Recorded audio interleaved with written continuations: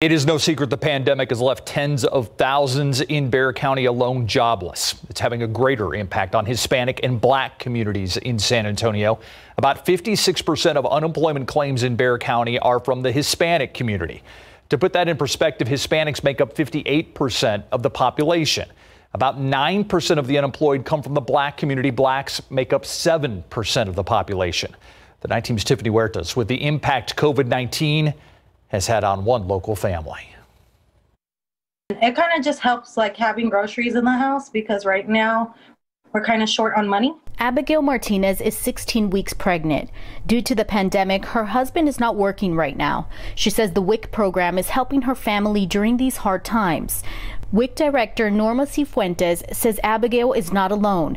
They have seen an increase of people needing help. First time clients who have never needed assistance in any form who have come to us, um, of course, with in need because of you know, being unemployed or having lost their jobs. The WIC program provides nutritious foods, information on healthy eating, and referrals to health care. Cifuentes says they are serving an additional two to 3,000 people a month. We've always seen a higher need amongst our Hispanic um, and, and our Black communities. The most impacted um, occupations or industries, uh, that being accommodation, food services, and retail trade.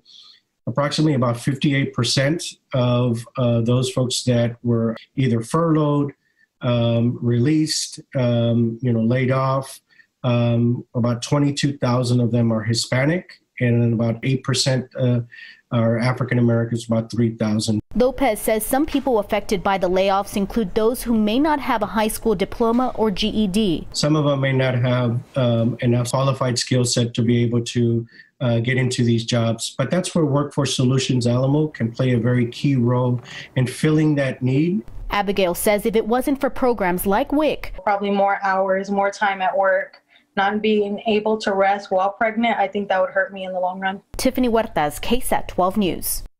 Workforce Solution Alamo's goal is to connect people to jobs, work experience opportunities, and training programs. For more information, you can visit ksat.com.